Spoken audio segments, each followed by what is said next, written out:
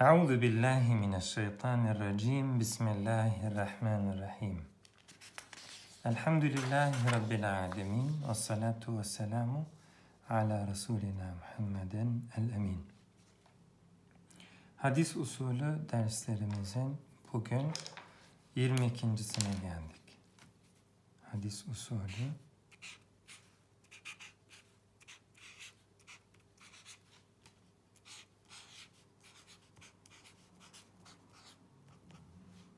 Yirmi ikinci ders.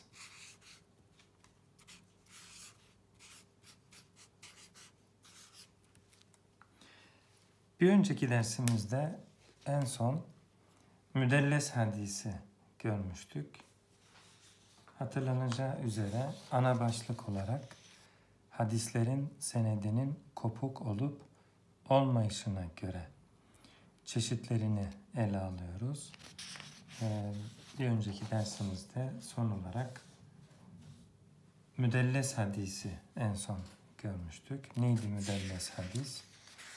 Üç e, temel çeşidi vardı. Bunlardan tedlisul isnad, öğrencinin hocadan hadis duymadığı halde duymuş gibi aktarması. Bu öğrenci kendi çağdaşı olan yani aynı zamanda yaşamışlar hoca öğrenci. E, fakat e, hocasıyla görüşmemiş. Ondan hadis almış olabilir. Yahut hocasıyla görüşmüş ama e, hadis almamış. Yani gitmiş görmüş, elini öpmüş o kadar. Fakat bilahare ondan hadis rivayet etmeye kalkıyor. Yine bu da bir tedlis. Görüşmüş, hatta kendisinden hadis de almış. Ama e, bize verdiği, şu anki verdiği hadis, ilgili hadiste e, tedlis yapıyor. Çünkü o hadisi hocadan almamış. Yani hocadan aldığı hadislerin arasına almadıklarını da karıştırarak yapıyor. Dolayısıyla bunların hepsi e, tedlis çeşitleri. Kendisini e, hiç görmediği halde yapabilir. Gördüğü halde ama hadis almadığı halde yapabilir. Hem gördüğü hem de hadis aldığı halde e, ilgili yani verdiği hadiste tedlis yaparak e, kendisinden duymadığı bir hadis. O günlerde mesela okula gitmemiş olabilir. İmla meclisine o günlerde gitmemiş olabilir. E, gitmediği günlerdekileri de e, gittiği günlerdekiler gibi öğrencilerine aktarmaya kalkarsa bu tedlis olur. Zaten çağdaş olmadığı yani e, muasır olmadığı bir hocadan e, duymuş gibi aktarmaya kalkarsa ona tedlis de demiyoruz. Orada zaten e, ne var? Açık inkıta var. Evet, bunlar önceki dersimizde ele aldığımız konuydu kısaca özetledim. Hatırlanacağı üzere böyle önceki dersimizde tedlisül isnadı tafsilatıyla görmüştük. Çağdaş ama görüşmemiş. Yani bu bir çeşidi demin bahsettik. Ravi hocasından tedlis yapıyor. Ee, görüşmemişler. Arada sema yok, arz yok. Bunlar hoca ve öğrenci. Dolayısıyla muasır ama çağdaş bu bir çeşit demin bahsettim. Tedlisül isnadın kendi içindeki e, ayrımlarına bakıyoruz. Yine hoca öğrenci burada da yine tedlis yapıyor öğrencimiz. Ee, yine hoca ile çağdaş hatta görüşmüşler. Ee, fakat e, hadis almamış kendisinden. Dolayısıyla sema yok, arz yok. Çağdaş ama hadis almadığı bir hocadan e, hadis aktarmaya kalkıyor. Bu da bir tedlis. Tedlisin en zor e, ve en karanlık örneklerinden bir tanesi de bu üçüncü çeşit. E, hoca öğrenci çağdaşlar görüşmüşler. Öğrenci hocadan hadis de almış. Fakat almadığı hadisleri de almış gibi hocadan aktarmaya kalkarsa o almadığı hadislerde sema ve arz olmadığı için bu da bir tedlis çeşididir. Bunlar hepsi tedlisül isnadın e, çeşitleri. Hatırlanacağı üzere bir de tedlisü tesviyeyi en son görmüştük. E,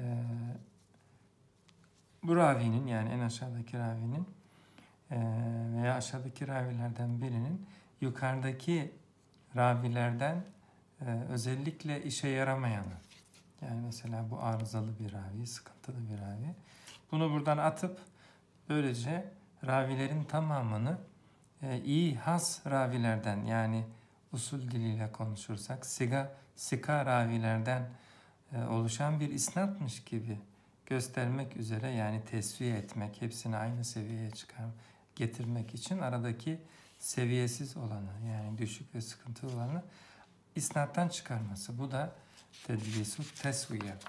Bir de tedlisu şuyuhu görmüştük. Bu da e, ravinin hocasının e, hocasını anarken onu çok da bilinmeyen bir e, künyesiyle, lakabıyla e, dile getirmesi. Böylece farklı bir hocadan hadis rivayet ediyormuş e, vehmini e, uyandırması.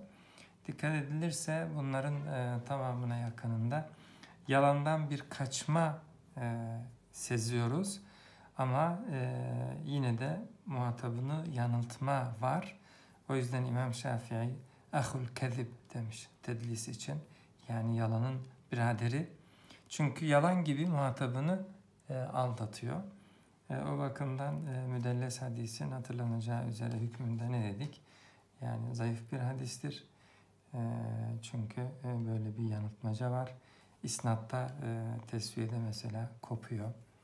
E, Tedlis-i şuyuhta e, hocası tanınmaz hale geliyor. Kim olduğunu bilmediğimiz için. İsnat hakkında karar e, veremeyiz. E, zaten tedlisül isnatta e, sema kopmuş. Yani e, temel sıhhat koşulu neydi? İttisal. E, görüşmediği hocadan hadis aktarsa yine güme gider. Görüştüğü ama almadığı, hadis almadığı hocadan yine aktarsa yine o isnat kopuktur.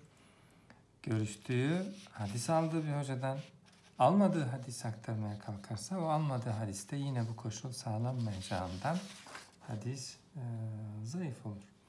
Peki en son müdelles hadise e, örnek vermeye e, gelmiştik. Önceki dersimizde e, bir kesinti ve kopukluk olmuş. Müdelles hadisin e, örnekleriyle şu halde devam edelim. An bakiyete, bakiyeden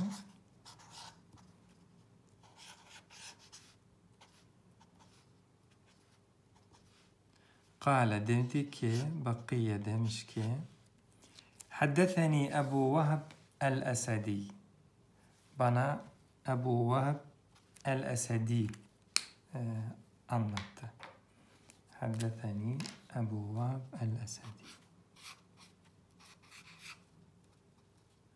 Haddetheni Ebu Vahb el-Esedi.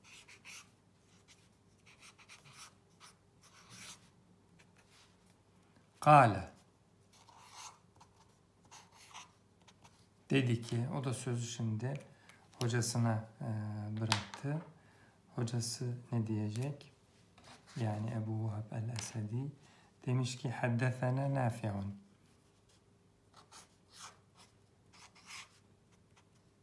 Haddefene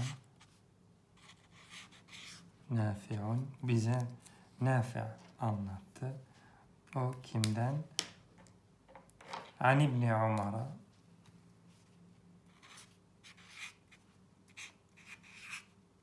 An İbni Umar'a. O da İbni Ömer'den. Kale dedi ki Kale Nebiyyü sallallahu aleyhi ve sellem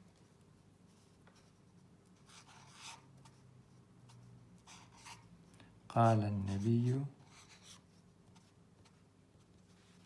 sallallahu aleyhi ve sellem. Nebi sallallahu aleyhi ve sellem dedi ki La tahmadu İslam emre'in La tahmadu La tahmadu Övmeyin. İslam emre'in İslam emri'in yani e, bir e, kimsenin Müslümanlığını la tahmedu İslam emri'in hatta ta'rifu uqdete ra'yihi. Hatta ta'rifu ta ki bilesiniz uqdete ra'yihi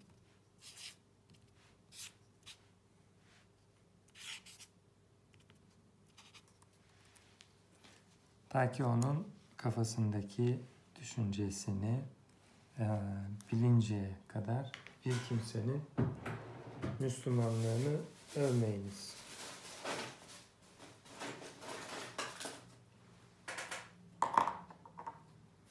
Şimdi bu hadiste Bakiye Ubeydullah bin Amr'dan o da İshak bin Ebi Ferve'den o da Nafi'den. Yani İshak bin e, Ebi Farva Nafi'den rivayet ediyor. Şu arada bir raviyi düşürmüş. Ee, şöyle şey de gösterelim.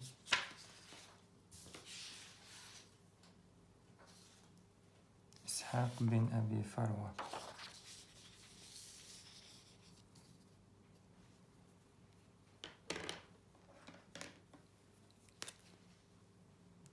Şu bakiye olsun. Bu hocası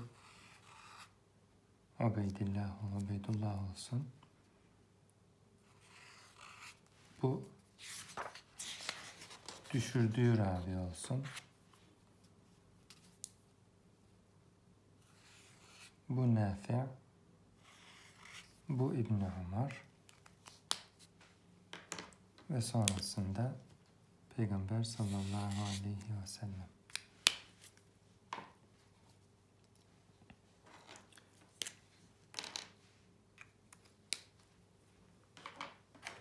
Yani bu bakiye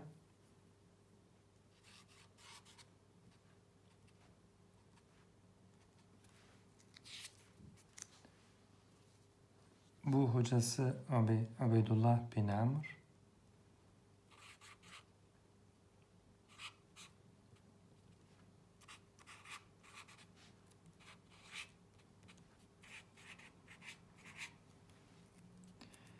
Bu da İshak bin Ebi Farva.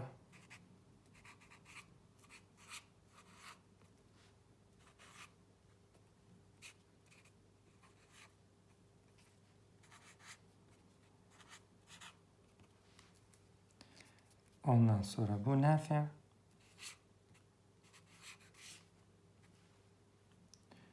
Ondan sonra bu da İbn Ömer. Yani Abdullah bin Ömer. Bu da Resulullah sallallahu aleyhi ve sellem.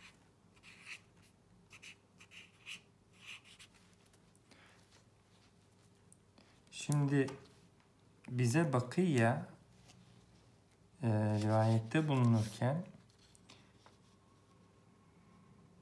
önce e, kimi düşürmüştü?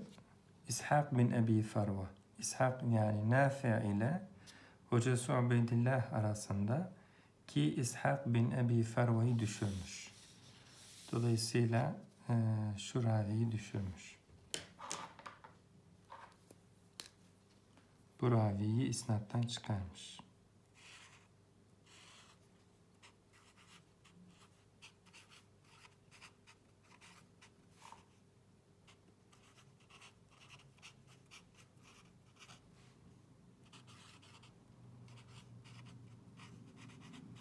Dolayısıyla ne yapmış oldu? Tedlisu tesviye.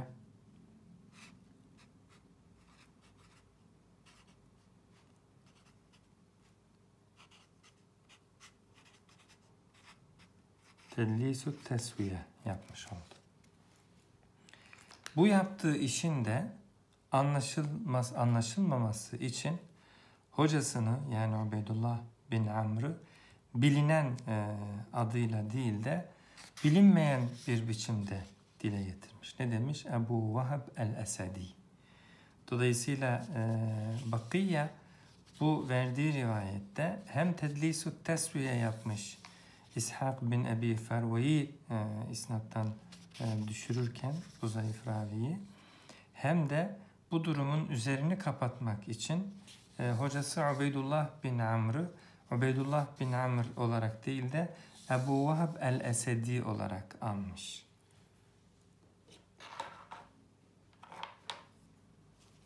Şöyle yazalım. Ebu Vahab el-Esedi demiş bunlar.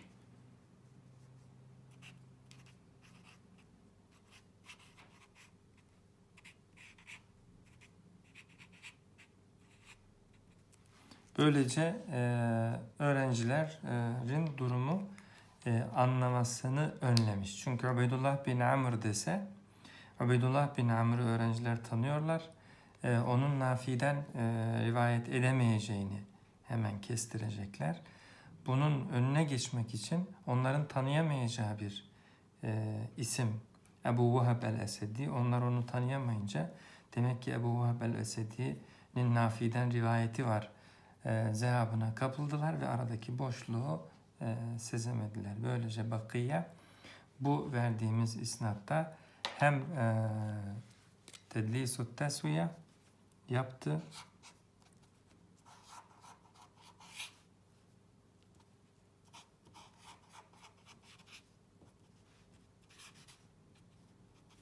hem de tedlisus şuyuh yaptı.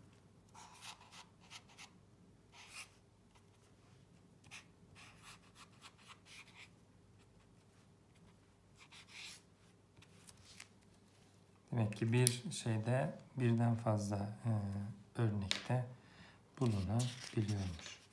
Bir diğer örneğe geçelim.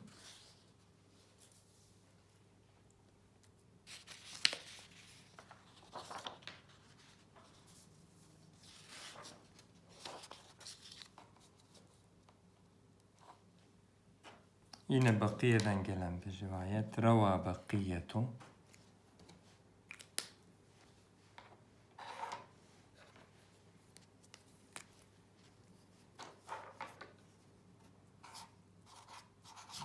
Rava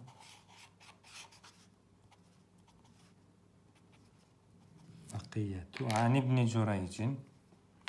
O da İbni Cüreyc'ten.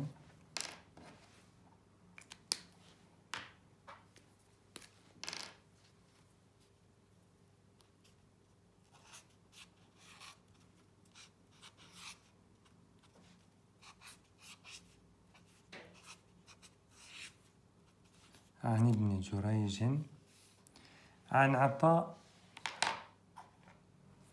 وضع عطاء عن عطاء. وضع عن ابن عباس.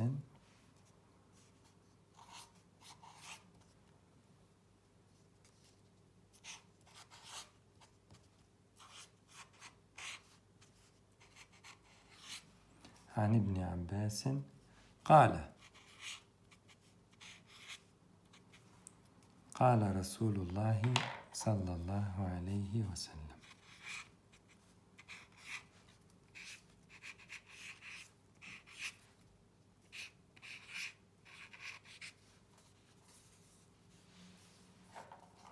sallallahu aleyhi ve sellem. Resulullah sallallahu aleyhi ve sellem dedi ki men edmene ala hacibeyhi bil kalem nerede? Bil mişti ufiye minel vebai. Men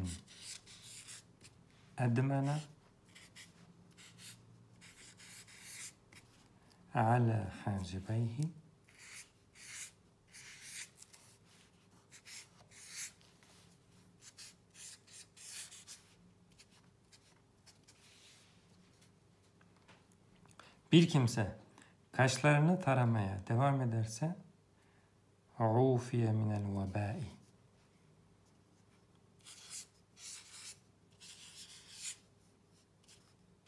Ufiye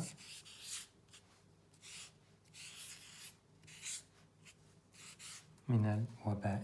Vebadan korunmuş olur. Şimdi bu rivayette İbn Hibban e, bu rivayetle alakalı olarak diyor ki Bakiye'nin İbni Cüreyş'ten yani gördüğünüz gibi Bakiye İbni Cüreyş'ten rivayet ediyor. Böyle bir isnat nüshası varmış ve bu e, rivayetlerin hepsinin uydurma olduğunu. Orada diyor ki belki de Bakiye bu hadisleri İbn Cüreyş'ten nakleden zayıf bir raviden duydu da onun adını söylemeyerek yani şurada bir e, zayıf ravi var. Onun adını söylemeyerek, tedlis yaparak doğrudan İbn-i Cüreydiş'ten aktarmaya kalktı. Dolayısıyla e, kendisinden almadığı rivayetleri yani İbn Cüreyş'ten almış gibi dolayısıyla tedlis yaparak aktarmasından bahsediyoruz e, Bakiye'nin. Evet, tedlis örneklerimiz e, böyleydi. Müdellislerin e, isimlerini bir araya getiren e, eserler var. Bunlara kitapta bakabilirsiniz. İbn Hacer el Askalani'nin verdiği bilgiler hatta kendisinin de bu alanda yazdığı eser var. Hüseyin bin Ali el-Kerabisi sonra Nesai sonra Dara Kutni bu anlamda bu konuda eser yazmış kimseler. Gelelim muallak hadise. Bu başlık altında yani senetteki duruma göre, senetteki e, kopukluğa göre hadisleri tasnif ettiğimiz başlığa devam ediyoruz. Müdelles hadisi en son tamamladık. Şimdi muallak hadise geldik. Hadithul muallak.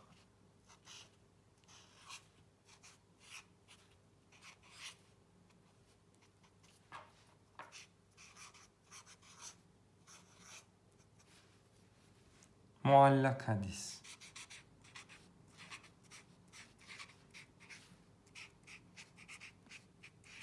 Muallak kelimesi böyle ıı, askıda olan yani Türkçemizde de var. Konuyu muallak bıraktı. Yani boşlukta bıraktı, askıda bıraktı. Eğer isnatta e, böyle bir muallaklık, askıda kalma e, durumu varsa işte o nasıl e, olur? Eğer ravi söz gelimi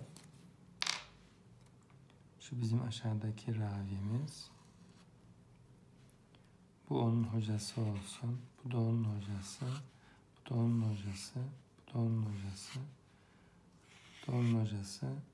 Bu da böyle en yukarıda da Peygamber sallallahu aleyhi ve sellem var.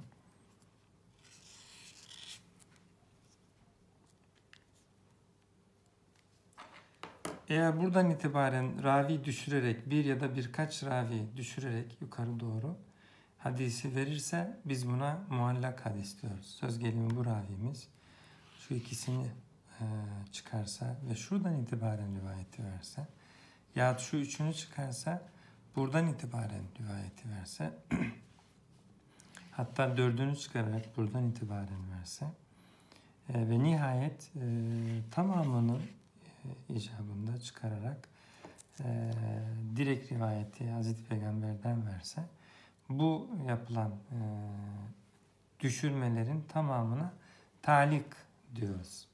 Dolayısıyla demek ki e, özünde senedin baş tarafından tür ravi düşürmelere talik adı verilmiş. Biz talik veya muallak deyince aklımıza hemen İmam Buhari'nin sahihi gelir. Orada e, çokça muallak hadisler vardır. Bunları İmam Buhari genelde başlıklarda böyle kullanır. Yani başlığın içerisinde e, işte İbn Abbas dedi ki Hazreti Peygamber demiş ki diye sahabe ve Hazreti Peygamberi yani bu raviyi ve bu raviyi anmak suretiyle hemen şeye giriş yapabilir. Şuradaki ravilerin hepsini gerçi Buhari'de bu kadar uzun isnat olmaz ama yani örnek olarak konuşuyoruz.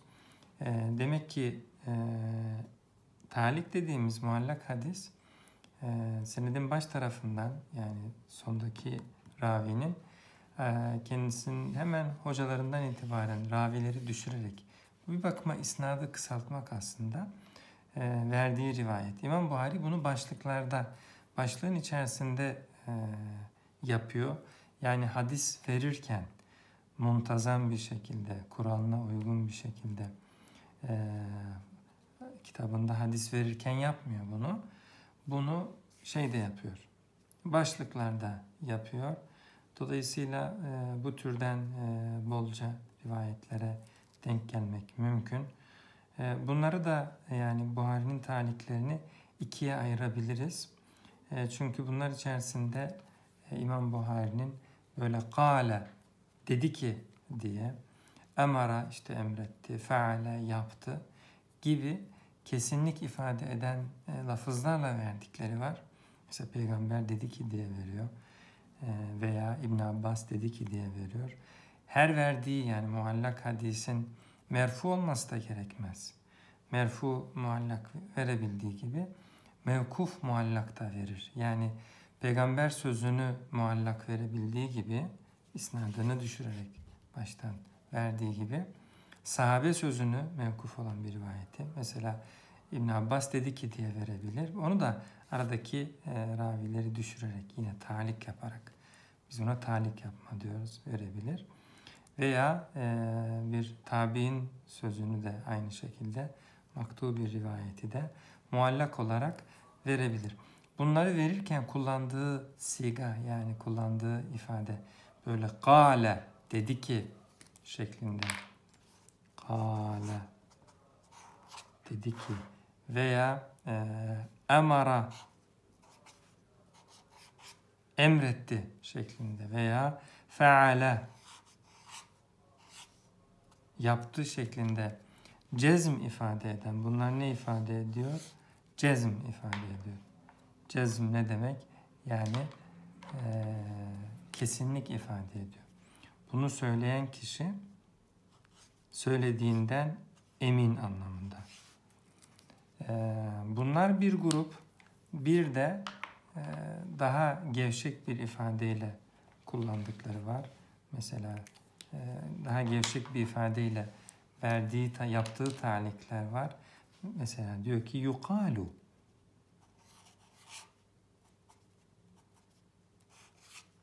Yani denir ki veya yurva.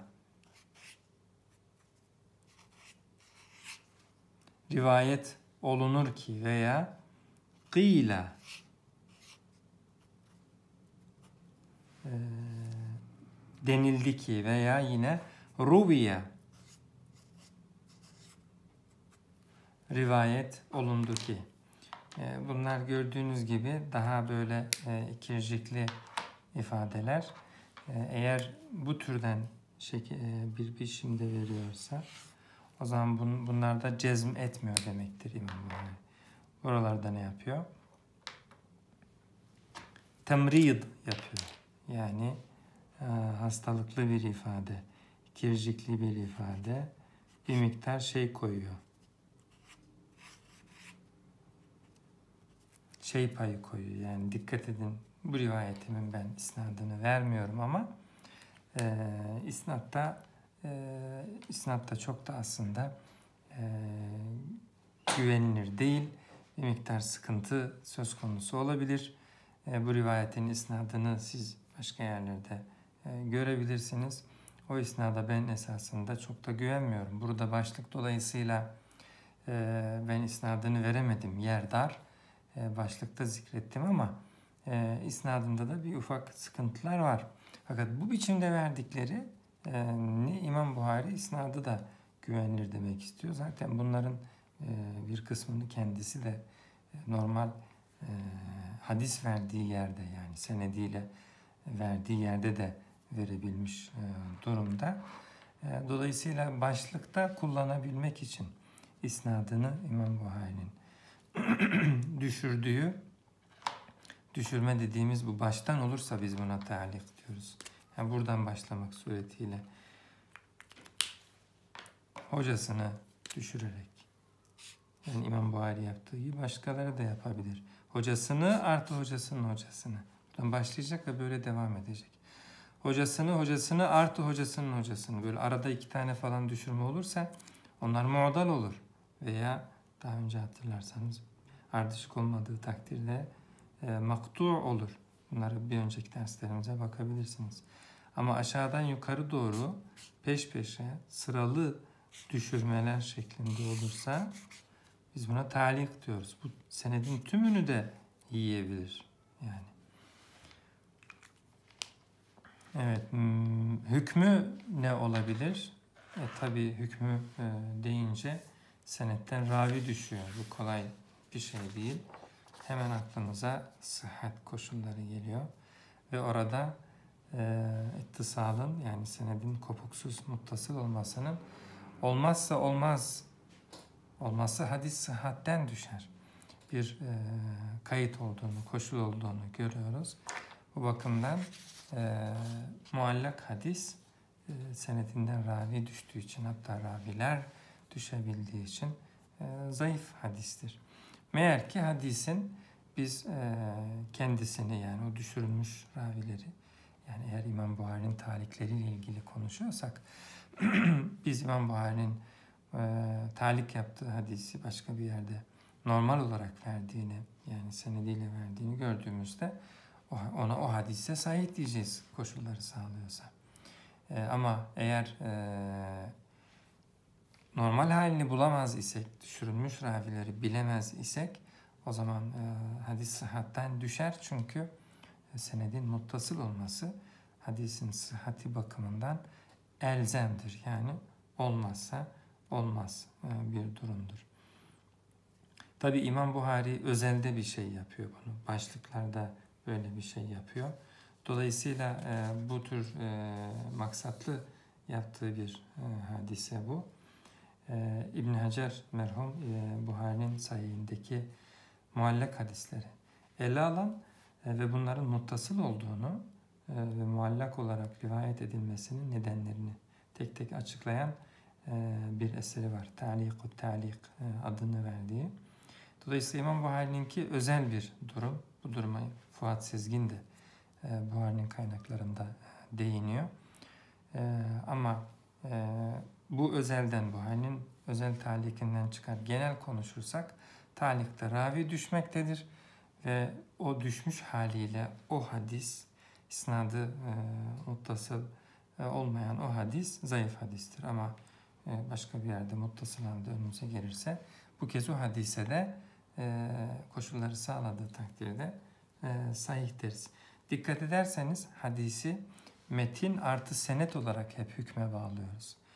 E, aynı metnin e, burada e, kopuk olan isnadı ile birlikte ona zayıf derken yine aynı metin başka bir yerde e, muttasıl bir isnatla önümüzdeyken bu kez ona sahih diyoruz. Şu halde e, metin üzerinden baktığınız zaman dikkatli olmalı zayıf denilen bir hadisin belki de isnadından ötürü zayıf deniyordur. Metni başka bir yerde e, muttasıl olarak e, mevcut olabilir. E, bu bakımdan metnin de illaki zayıf olmasını gerektirmeyebilir. Metnin zayıf olduğunu hükmedebilmek için o metni bize veren bütün isnatları görmemiz gerekir. O bakımdan muhaddisler metin özelinde değil, metin artı isnat ile birlikte hadise hadis e, der ve hükmünü de bu ikisine birlikte e, verirler. Şimdi muallak hadise dair örnekler e, görerek konuyu daha bir anlaşılır kılalım. Demin söyledik ki muallak hadis Peygamber sallallahu aleyhi ve sellemin sözü olabileceği gibi yani merfu olabileceği gibi mevkuf ve maktu da olabilir birer örnek görelim. Önce merfu muallaka e, örnek görelim. قال ابن عباس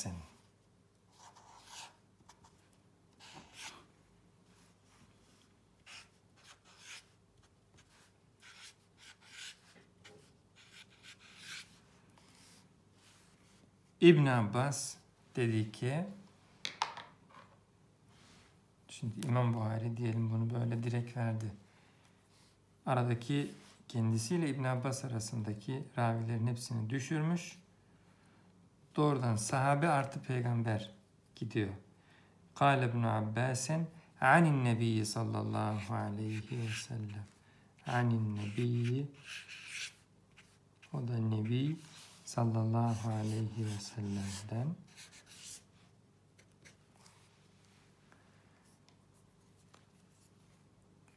ليبلغ العلم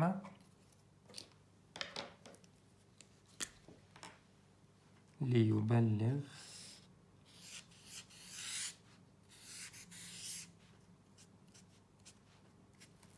ليبلغ العلم ilmi tebliğ etsin, ulaştırsın Ee, Eşşahidu kim? Eşşahidu hazırda bulunanlar. El gaibe gaib olanlara yani şu an burada bulunmayanlara. Eşşahidu el gaibe. Şimdi bu e, rivayeti böylece e, vermiş oldu.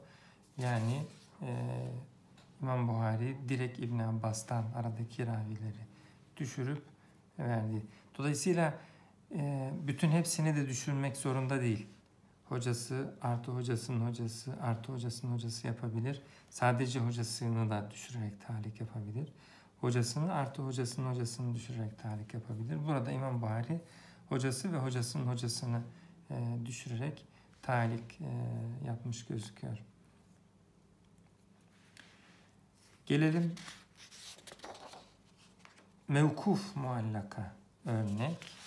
Yani bu kez bir sahabe sözünün talikan verilmesine bakalım. وقال ابن مسعود قال ابن مسعود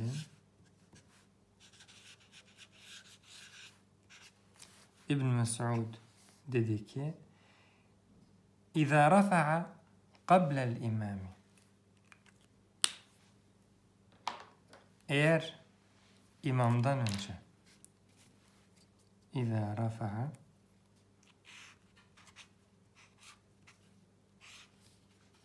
eğer kaldırırsa İza rafa'a qabla'l imam yani başını kaldırırsa qabla'l imami imamdan önce yani imama uyan kimse başını e, imamdan önce kaldırırsa e, rükudan yaudu geri döner. Baktı ki erken kaldırmışım başımı. Yaudu feyemkuthu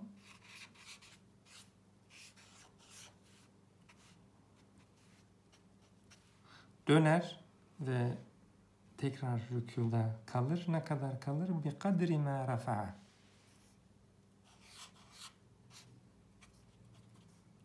Bi kadri ma rafa'a. Ne kadar erken kalkmışsa o kadar e, geri kalır. Thumma yetba'ul imama. Sonra imama uymaya devam eder. Kazasını yapıyor sanki. Thumma yetba'ul imama.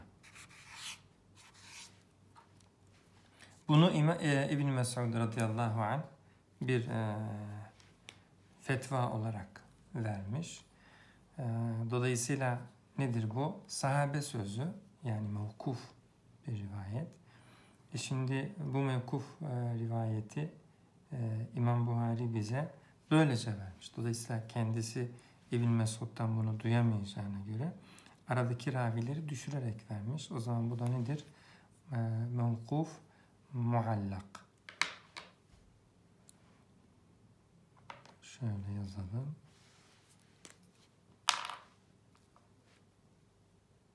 Mevkuf muallak.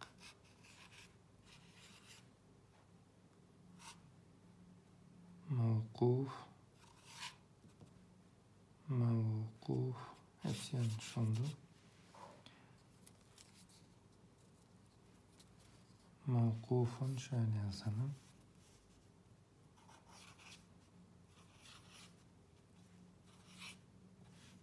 Muallakun. Bu mevkufun muallak. Deminki neydi? Böyle iç içe önceki konuları da kullandığımızda öğrenme pekişir. Bu da merfu'un.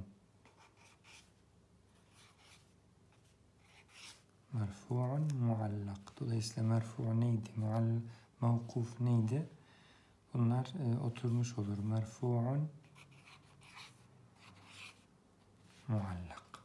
Çünkü bu e, Nebi'nin sözü Peygamber sallallahu aleyhi ve selleme atfedilen bu anlamda merfu. Ama isnadı e, başından düşürüldüğü için de muallak. Bu da sahabe sözü olduğu için de isnad düşürüldüğü için mevkuf muallak. O zaman bir tane de e, diğerine örnek olarak yani maktu muallakı görelim.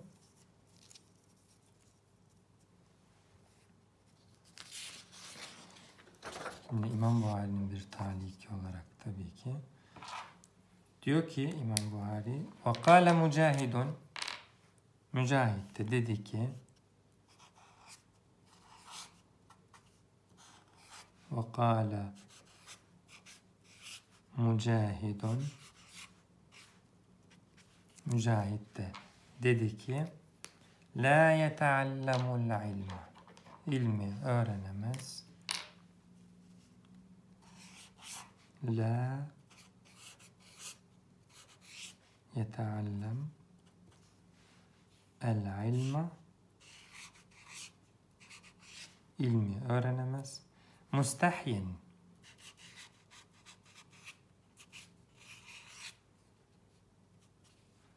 utangaç kimse ilim öğrenemez. Ve la mustekbir.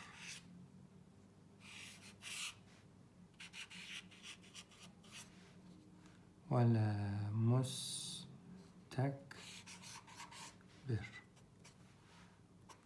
Ne de müstekbir kimse. Daha önce de bu mevkuf rivayeti, maktu rivayeti görmüştük. Ee, İmam Buhari Mücahit ile aradaki raviyi düşürmek e, suretiyle e, direkt e, bunu mücahidin sözü olarak yani talik yaparak vermiş. O zaman ne diyoruz? Mücahit tabiinden birisi olduğuna göre maktu'un muallak.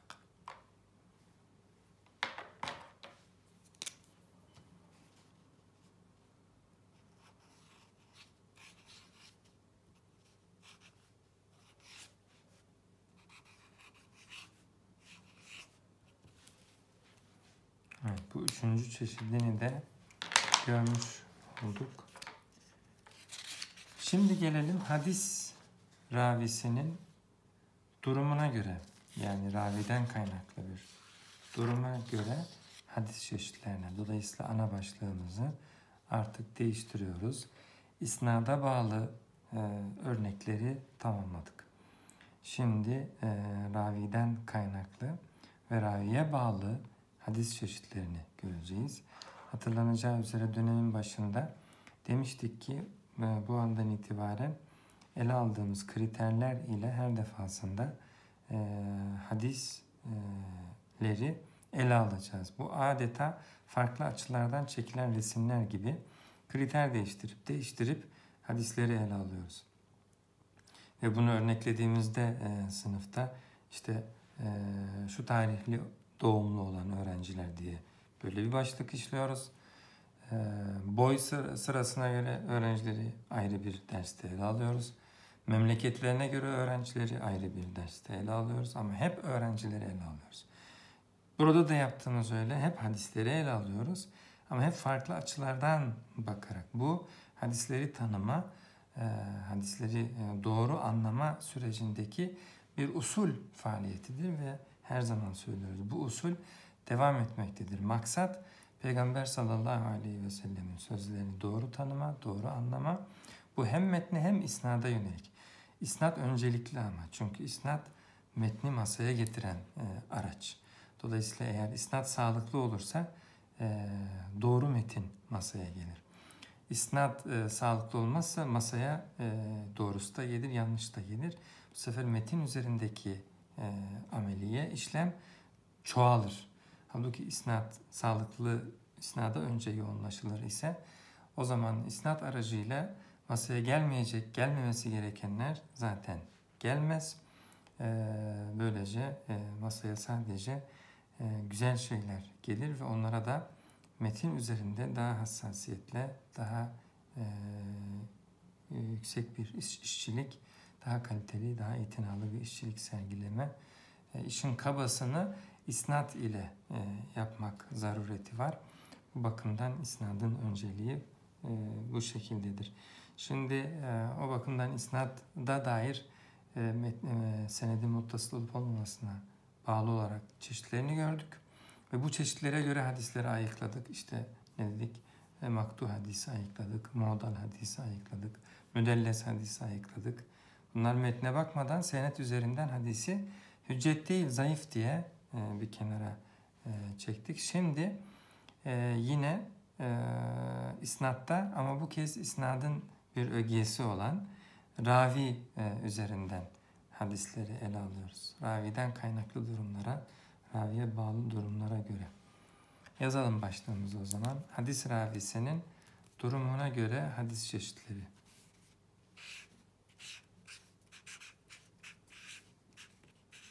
Hadis ravisinin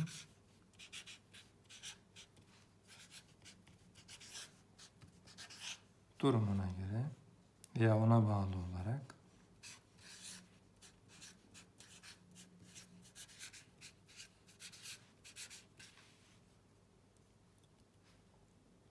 durumuna göre hadis çeşitleri.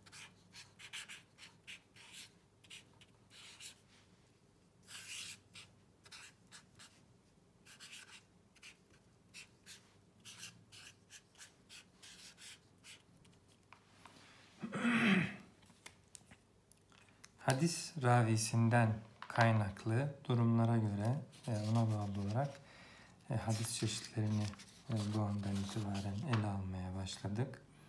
İlk başlığımız musahhaf, muharref hadis. Yani el musahhafu vel muharrafu. El musahhafu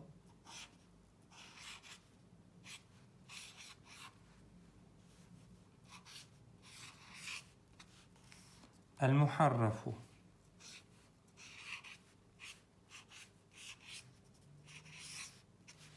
musahhaf, muharref hadis.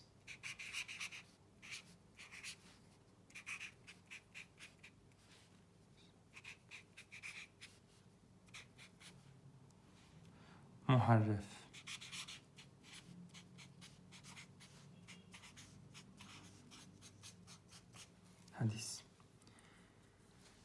Ne demek istiyoruz? Şimdi eğer ravimiz kelimeyi yanlış okursa, tasvif ederse, e, anlamı bozacak şekilde lafzı değiştirirse buna tasvif diyoruz. Yani biz bazen hani bir metni okuyoruz ya, metni okurken e, gözümüz bizi yanıltıyor ve yanlış okuyoruz. Bu yanlış okuma hadisin senedinde de olabilir, hadisin metninde de olabilir. Eğer e, biz bir yanlış okuma e, yapıyorsak e, buna tashif deriz.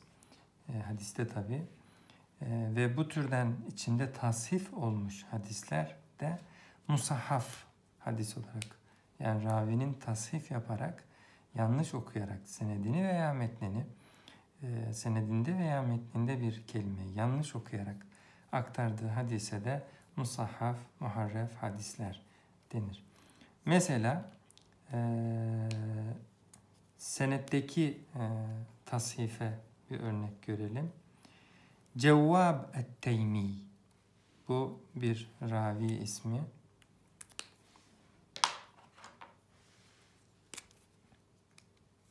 Cevvab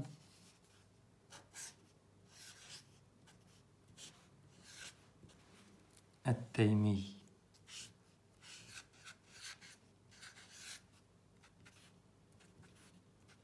Harekeleyelim şöyle.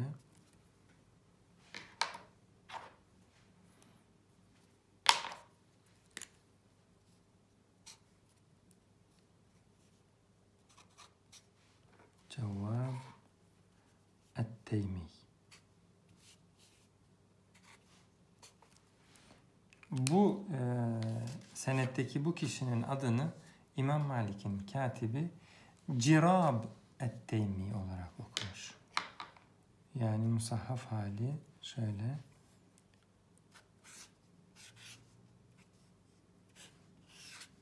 Cirab et-Teymi. Burada bir sıkıntı olmamış. sıkıntıyı adında yapmış. Cevvab yerine cirab diye okumuş. Cevvab et-teymi olmuş. Cirab et-teymi. Burada e, dolayısıyla tashif yapmış. Yani yanlış okuma gerçekleştirmiş. Yine bir örnek daha. Musahhaf, muharref hadis e, örneği olarak Yahya bin Ma'in Müslim'in ravilerinden olan e, İbni Muracim yazalım. İbni Muracim.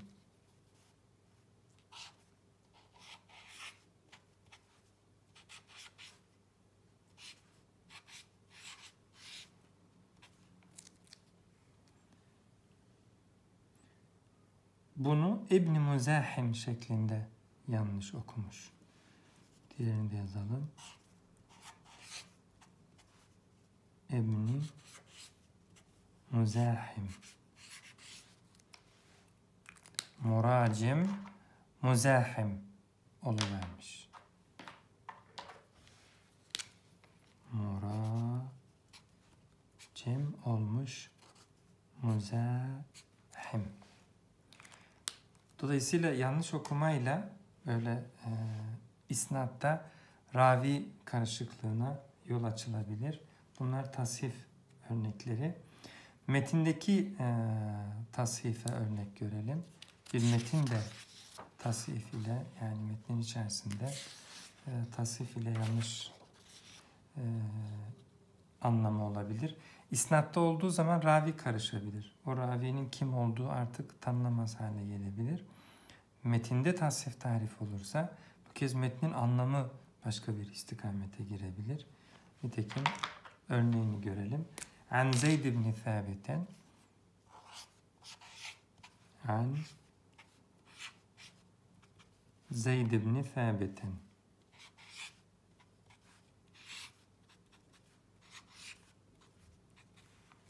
Kale dedi ki İhtecera Resulullah sallallahu aleyhi ve sellem. Resulullah sallallahu aleyhi ve sellem bir hücre edindi. İhtecera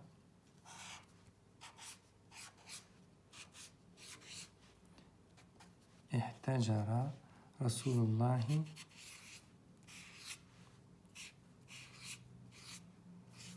sallallahu aleyhi ve sellem. Resulullah sallallahu aleyhi ve sellem bir hücre edindi.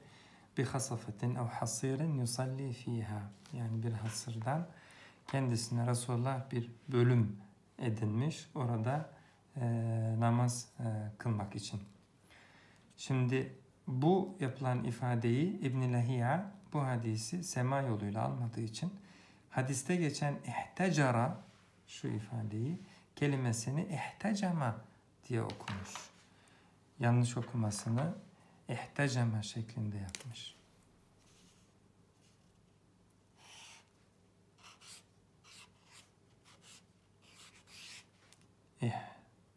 İhteceme. Şimdi ihtecara hücre edindi anlamına gelirken ihteceme hacamat yaptırdı demek. Dolayısıyla mana nereden nereye kaydı gitti? Böyle olunca Hazreti Peygamber sallallahu aleyhi ve sellem mescitte e, hacamat yaptırdı gibi anlaşılabilir bu musahhaf haliyle. Halbuki e, yanlış okuma söz konusu. Burada bir tasahif tahrif var. Peygamber sallallahu aleyhi ve sellem ihtecara mescitte hücre edindi. Bir alan e, kendisine orada özel olarak namaz kılabilmek için. İnsanlar ardından ona uyup sürekli mescitte Hazreti Peygamber'in kıldığı nafile namazların e, birdenbire cemaat namazına evrilme, e, dönüşme ihtimaline karşı bağımsız bir küçük alan kendisine edinmiş. Ama bunun musahaf hali yanlış okumayla değiştirilmiş hali ihteceme oluyor. Tabi bu tür hadislerin hükmü yani artık hadis elimizden kayboluyor. İsnatta da olsa ravi artık kim olduğunu bilemiyoruz. O bilinmediği haliyle, ravinin kim olduğu kestirilemediği haliyle hadis e, ravi mestur olmaya başladığı için e, artık şey olur, e, zayıf olur. Çünkü sayı hadisin koşullarından ilk iki tanesi ravinin tanınmasına bağlı. Adalet koşulu olsun, zapt koşulu olsun. Ama bu dediğimiz hadisin musahaf haliyle ilgili. Hadis musahaf hale geldikten sonra hadisin e, musahaf olmayan örneği de yine bir yerden devam ediyor. Dolayısıyla yukarıdan aşağı e, ravilerden birisi hadise tasif uyguladıysa o ravinin aşağısına doğru o tasif, o bozulma işler. Halbuki diğer kanallardan yine hadis musahaf olmayan, e, muharref olmayan haliyle devam eder. Meğer ki tasfifi yapan ravi çok üstte ve bütün hadisin damarları kendi üzerinden geçen yani hadisin medarıysa o zaman ayrı o. O zaman o hadis e, artık bir daha kurtarılamaz bir biçimde kaybedilebilir. Halbuki e, aşağıdaki ravilerden, kollardan birinin çıkışındaki ravilerden birisi eğer tasvif yaparsa o diğer e, kollarla hadisin sağlıklı hali geleceği için musahaf muharref haline bir mim konur. O sıkıntılı denir. Ama diğer sıkıntısız kanallarla gelen rivayetler değerlendirilmeye devam edilir. Bu hem e, isnat bakımından böyle hem de hadisin metni bakımından böyle. Çünkü e, metni arızalı hale geldiğinde de artık anlamı kaybediyoruz. Hatta istenmedik bir mana ortaya çıkabilir. Nitekim buradaki durum e, istenmedik bir manadır. Olmayan bir şeyi yani Hazreti Peygamber mescitte kan aldırmamışken kan aldırmış gibi Resulullah'a e, aslı esası olmayan bir şeyin yamanması e, gibi olabilir. Bir başka örnek üzerinden yine aynı durumu görelim. İnne Resulallah sallallahu aleyhi ve selleme Resulullah sallallahu aleyhi ve sellemin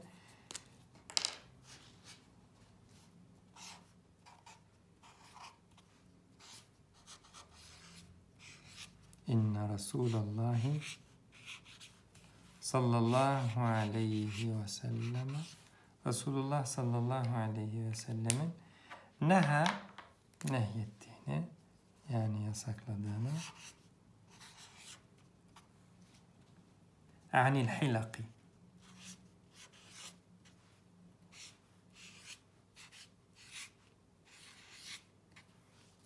Peygamber sallallahu aleyhi ve sellem halka olmayı e, yasaklamış. Kabla salati yevmel cumati.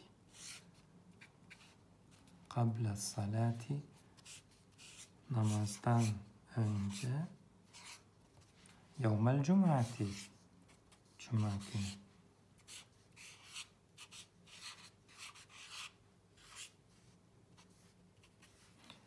Cuma günü böyle halka halka, öbek öbek kümelenmeleri Resulullah sallallahu aleyhi ve sellem yasaklamış. Hareketini doğru yazalım, gösterelim. Anil hilaki yani ettehalluk halkalaşma. Bunu el halki diye okursak eğer neha anil halki bunun yanlış okunacak okunmuş hali. Yani bu kez ne olur? Tıraş olmayı. Resulullah sallallahu aleyhi ve sellem neha anil halki diye okununca ki okunmuş böyle bir tasvif durumu var bu hadisle ilgili olarak. Hatta muhaddislerden biri buna dayalı olarak e, cuma günleri e, tıraştan özellikle kaçındığından bahsetmiş hadisin e, verdiği yanlış mesajdan ötürü. Halbuki Hazreti Peygamber e, anil halk anil halki değil yani tıraş olmaktan değil anil hilaki e, halka olmaktan halka halka öbek öbek gruplaşmaktan yasaklamış. Tam bu ayrımda şunu söylemekte fayda var. İbn Hacer diyor ki tashif ve tahrifi biz şöyle ikiye ayırabiliriz. Eğer e, bu bahsedilen e, değişiklik harflerdeki nokta değişikliği ise biz buna musahhaf diyelim. Yani harflerdeki nokta değişikliği. Mesela buradaki durum harflerdeki e, nokta değişikliği e, diyelim ki noktayı yanlış okumuş. Deminki örneklerde mesela şuradaki örnek. Bak burada da nokta değişikliği değil, harf değişikliği var. Ee, nokta değişikliği yani F'yi kaf gibi okumak. Ondan sonra İbni Muzahim vardı. Şurada İbni Muracim, İbni Muzahim. Noktalamalara e, dikkat ederseniz olayı e, noktalamalar e, değiştiriyor. Buna bağlı olarak eğer harflerdeki noktadan kaynaklı değişikliklere biz tashif diyelim. Bu türden olanlara musahhaf diyelim. Mesela bu.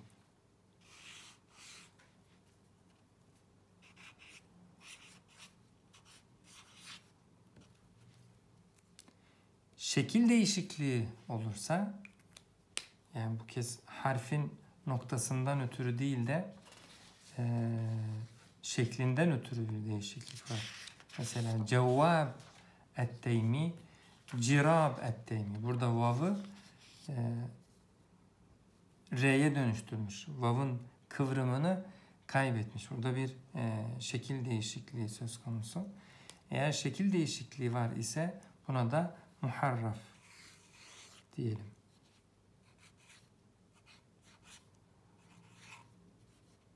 İbn Hacer'e gelinceye kadar tashif ve tahrifte böyle bir ayrım e, söz konusu değildi. E, İbn Hacer e, böyle bir tefriki, böyle bir farkı e, gözetelim diye öneride bulundu. Burada da ne var? İhtecara, ihtecema gördüğünüz gibi re mime dönmüş. O zaman e, şekil değişikliği söz konusu olduğu için burada da muharraf. Yani buradaki durum da tahrif. Dolayısıyla muharraf diyelim diyor bu türden e, hadislere. Yine e, okuma e, ile ilgili olarak eğer kelime sonlarındaki harekenin yanlış e, verilmesine lehn diyoruz. Ama kelime sonlarının doğru okunmasına ki bunun dil bilgisinden de bilirsiniz i'rab diyoruz. Bu türden hatalar da yine e, bu başlık altında söz konusu olan hatalar yani tashif ve tahrif başlığı altında konu edilen e, hatalardan. Bunlar raviden kaynaklanan veya ravilerden herhangi birinden kaynaklanan tashif ve tahrif e, biçimindeki hatalar yani yanlış okuma ister hareket, e, kelimenin noktalamasını noktalarını yanlış kestirmek isterse kelimenin kendisini içerisindeki harflerin şekillerini yanlış e, algılayarak. Bunların hepsi yanılgıya dayalı. Tabi bilerek de olursa o da e, korkunç olur. Ama çoğunlukla yanılgı biçiminde e, olan şeyler.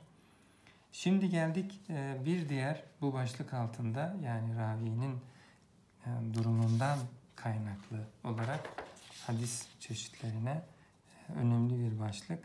Münker hadisi göreceğiz.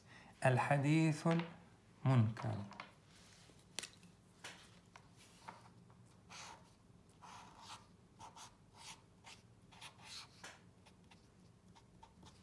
الحديث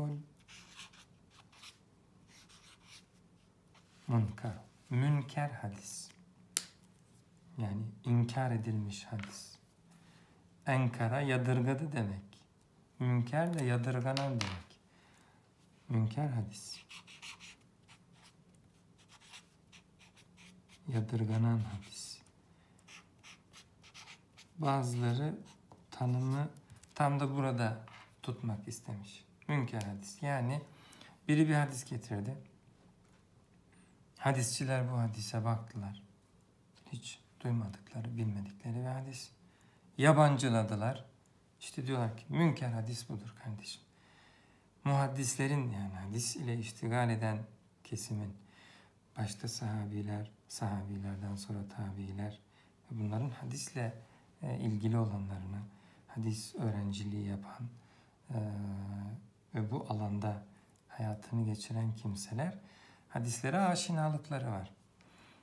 Ee, dolayısıyla hadisleri biliyorlar. Eğer bir hadisi duyduklarında Allah Allah hiç duymamıştık böyle bir şey diyorlarsa işte bu münker hadis kavramının filiz verdiği nokta orası. Münker hadis daha tabii daha e, teknik e, tanıma geleceğiz birazdan ama bu en e, genel haliyle e, münker hadis bir ravinin ister güvenilir olsun ister güvenilmez olsun getirdiği tanınmadık, bilinmedik, yabancılanan, e, yadırganan türden hadis. Ama daha teknik bir e, tanım ile konuşacak olursak, münker hadis, zayıf bir ravinin, güvenilir bir ravinin rivayetine aykırı olarak e, aktardığı hadis. Yani zayıf bir ravi, güvenilir bir raviye e, aykırı olarak e, rivayette bulunuyor. Zayıf ravinin şöyle diyelim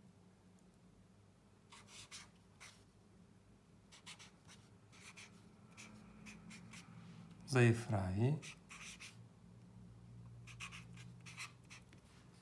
ne yapıyor? Güvenilir ravilere muhalefet ediyor.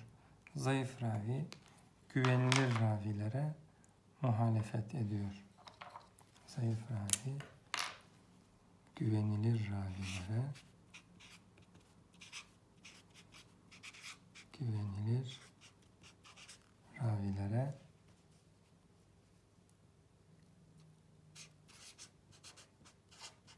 ravilere muhalefet ettiği zaman muhalefet etmesi yani onlara aykırı, onların söylediklerine, onların verdiği rivayetlere aykırı düşen bir rivayet getiriyor. Zayıf ravi, güvenilir ravilere muhalefet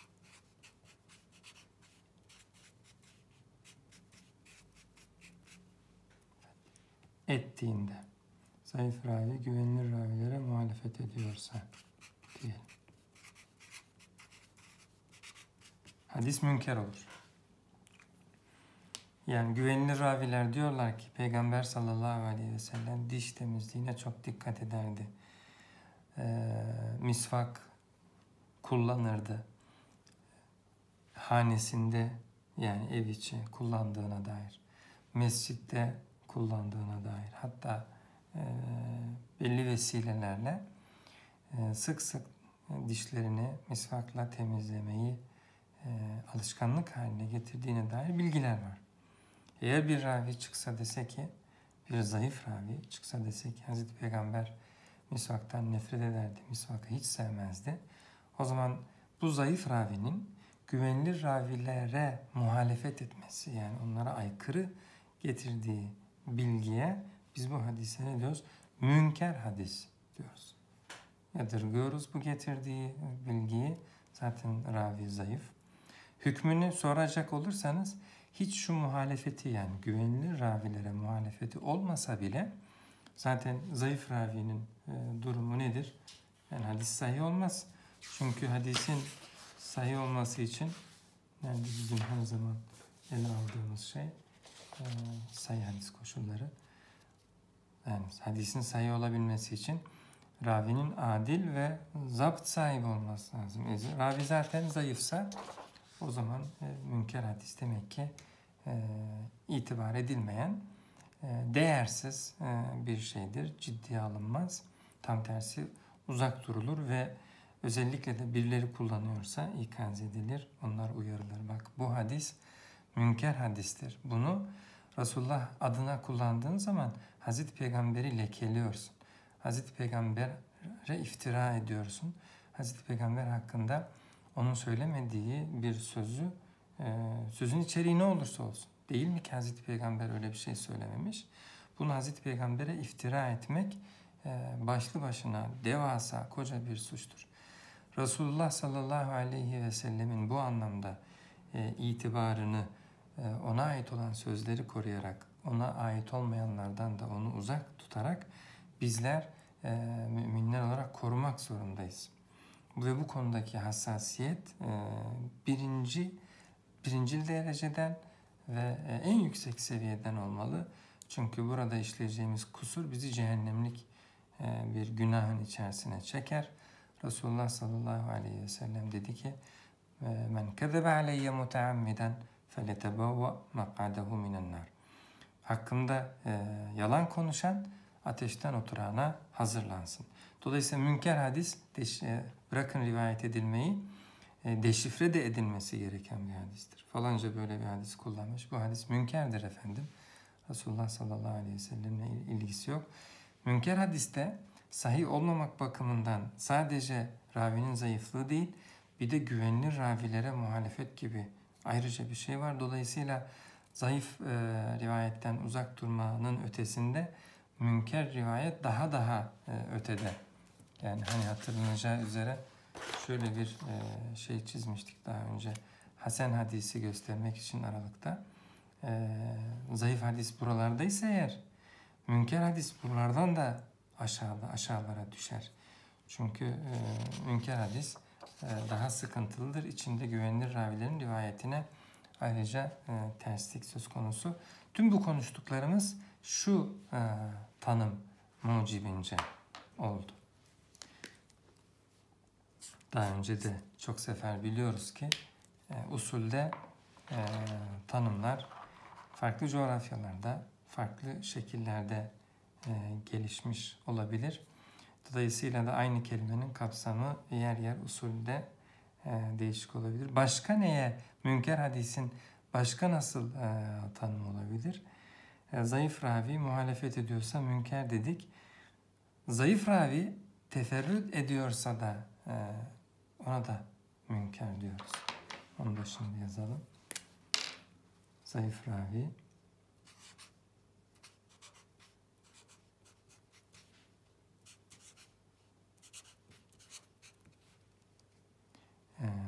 teferrüt ederse teferrüt ederse teferrüt ederse ne demek? Teferrüt ederse. Yani tek başına kalırsa kimse böyle bir rivayet bilmiyor. Zayıf bir ravi e, bilinmedik bir rivayetle geldi. Zayıf ravinin e, bilim, bilinmeyen e, bir rivayeti olursa buna da münker diyor muhaddisler. Bu da münker hadistir. Burada da dediğim gibi hükmü açısından değişen bir şey yok. Zaten zayıf, ravi zayıf olduğu sürece hadis zaten sahih değil. Yani uzak durulması gereken bir e, şey. Bir de üstüne münker hadiste daha fazlası var. Zayıf ravinin teferrüdü söz konusu. Tek başına kalmış, bilinmeyen bir yadırganan e, bir rivayet e, getirmiş. Dolayısıyla da bu da münker hadis. Yine e, münker hadis başlığı altında güvenilir ravi eğer muhalefet ederse yani şuradaki durumu ele alalım. Güvenilir ravi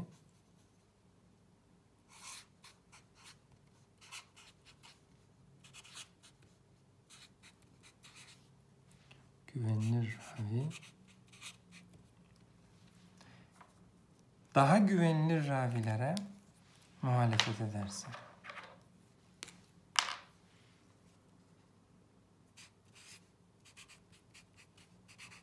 Daha güvenilir.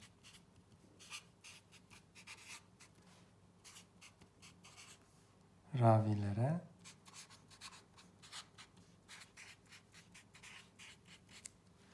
muhalefet ederse.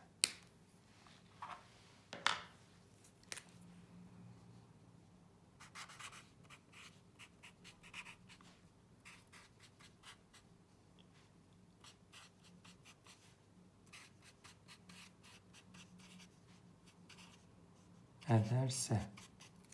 Şimdi güvenilir ravinin daha e, güvenilir ravilere muhalefet ederse bunu da münker başlığı altında görüyorlar ama veriliyor ama bu e, esasında e, ileride daha farklı bir başlıkta ele alacağımız bir şey. Bunun aslında adı şaz hadis. Yani bunun özel bir adı var. Şuraya yanına yazayım. Şaz diye.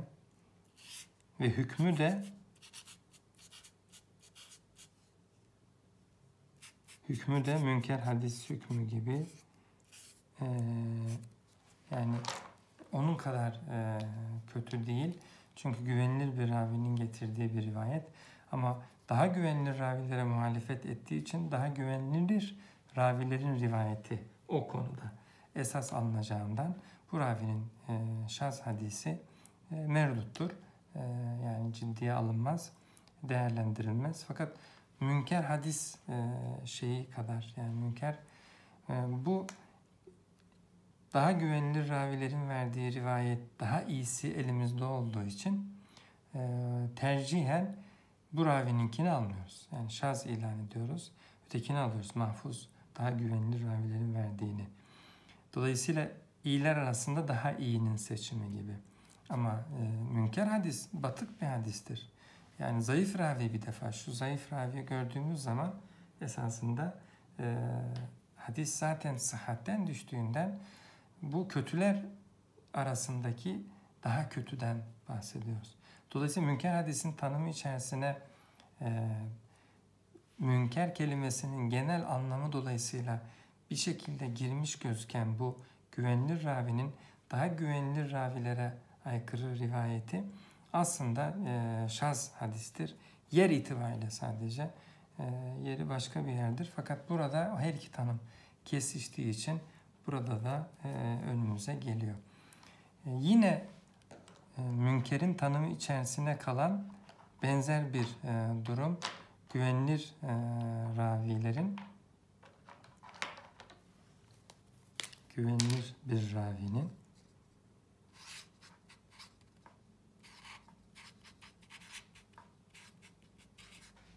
ravi muhalefet değil de bu kez teferrüt ederse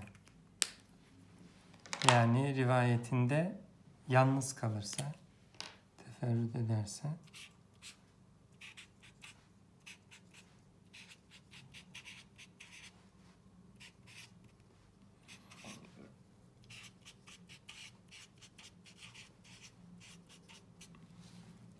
Bu da yine güvenilir ravi de olsa getirdiği rivayet sadece onun bize getirdiği bir rivayet.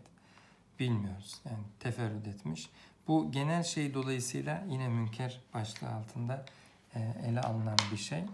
Ama e, dediğim gibi ilk iki sıradaki zayıf ravilerin getirdiği e, münkerlerle aslında aynı yerde olmayı bu son ikili hak etmiyor. Çünkü bunlar bir öncekinde de söyledik. İyiler arasında bir seçime benziyor.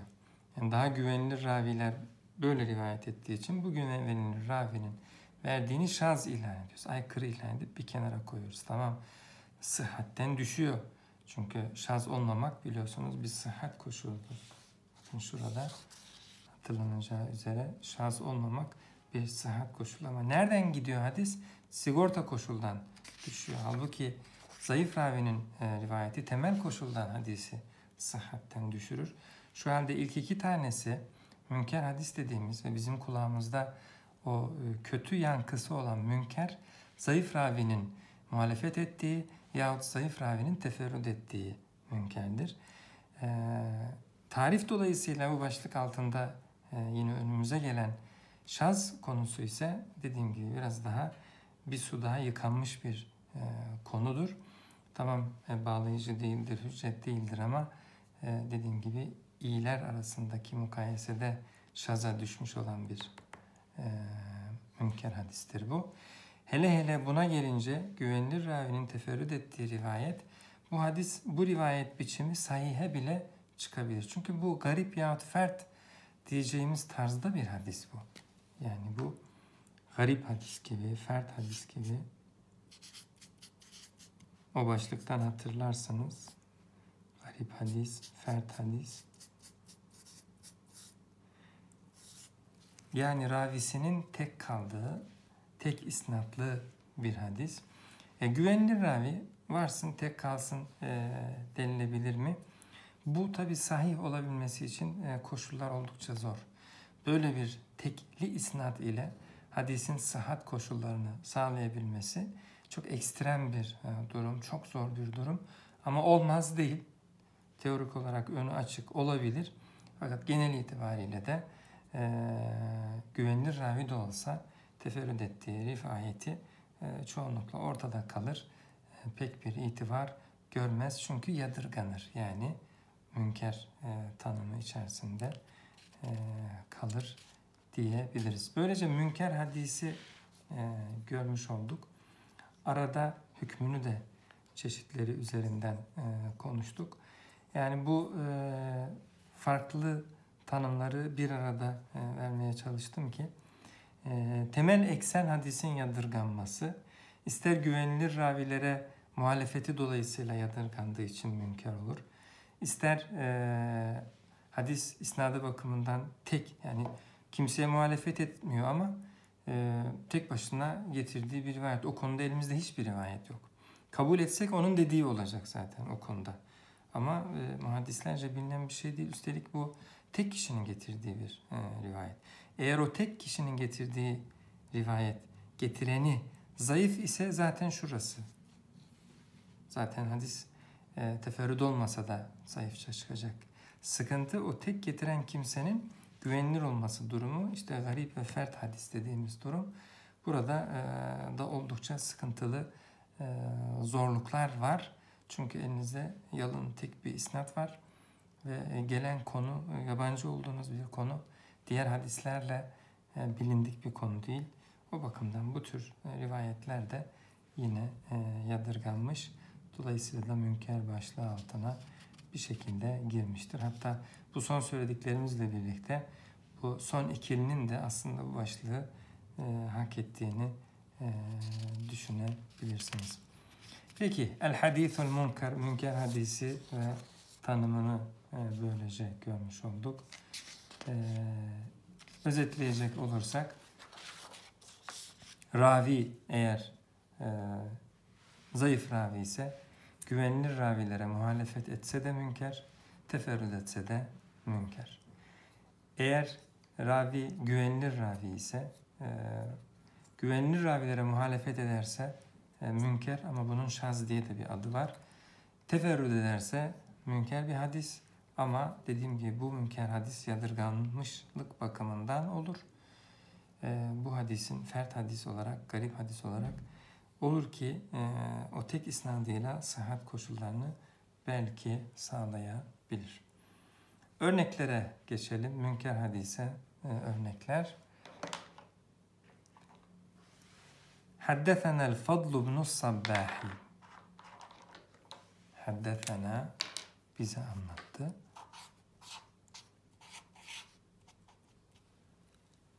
الفضل بن الصباح.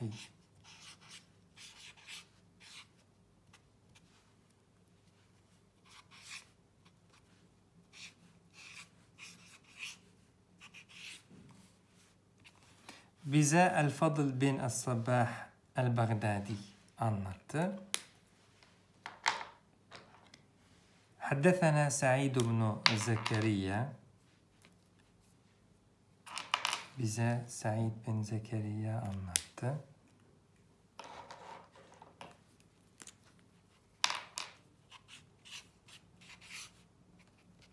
حدثنا سعيد بن زكريا.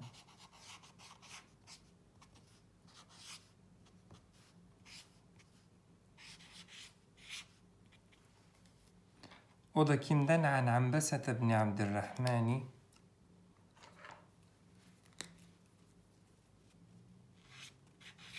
عن عنبسة بن عبد الرحمن.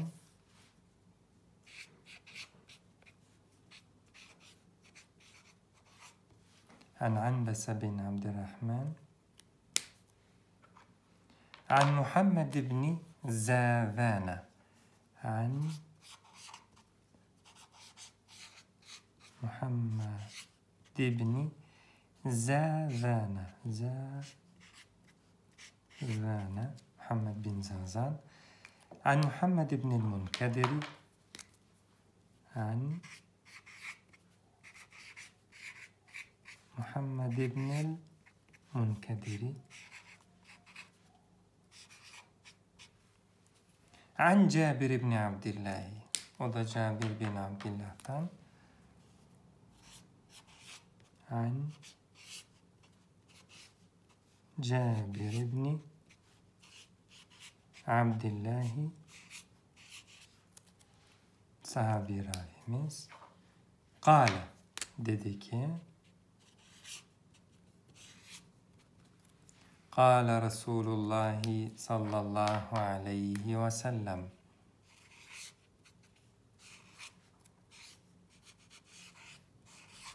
Kale Resulullah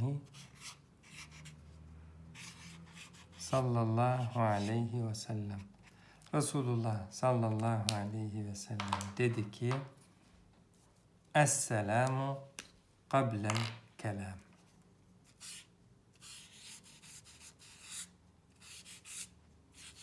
Esselamu kablel kelam. Selam kelamdan önce gelir. Selam kelamdan öncedir. Tirmizi, İmam Tirmizi bu hadisi rivayet ettikten sonra bu hadisin yalnız bu senetle bilindiğini ve münker olduğunu söylemiş. Dolayısıyla teferrüt var. Sebebini de şöyle izah etmiş. Yani İmam Buhari'nin şöyle dediğini işittim diyor. Anbese bin Abdurrahman hadiste zayıftır. Hemen Anbese'nin altını çizelim. Anbese bin Abdurrahman. Zayıf ravi. Ambesa bin Abdurrahman. Ve onun hadisleri hiçbir surette delil olmaz. Dolayısıyla zayıf bir ravi var. Bir diğer kimse Muhammed bin Zaven. O da şu. Muhammed bin Zaven. O da munkarul hadis. Yani hadisleri yadırgana gelen, e, yadırganan bir kimseymiş. En münkedir. Şu noktayı koyalım. Evet. Dolayısıyla e, bu isnatta e, tek bir zayıf ravi değil, iki tane zayıf ravimiz var. Hatta ravilerimizden bir tanesi münkerül hadis. Yani bu işi çok yadırganan hadis vere vere böyle biline gelen bir kimse. Dolayısıyla hem e, teferrüt söz konusu, yani şöyle bakarsak zayıf ravi var hem de birden fazla isnatta. E, şu zayıf ravi var hem de teferrüt söz konusu. Bu bakımdan e, bu hadis münkerdir şu ikinci tanım gereği. Efendim bir şeye muhalefet var mı? Güvenilir raviler.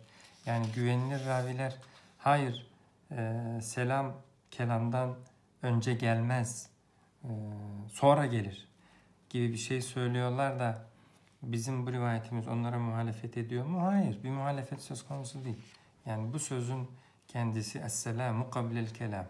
Ve biraz bakarsanız bir yanlış tarafı da yok diyebilirsiniz icabında ama e, usul böyle çalışmaz.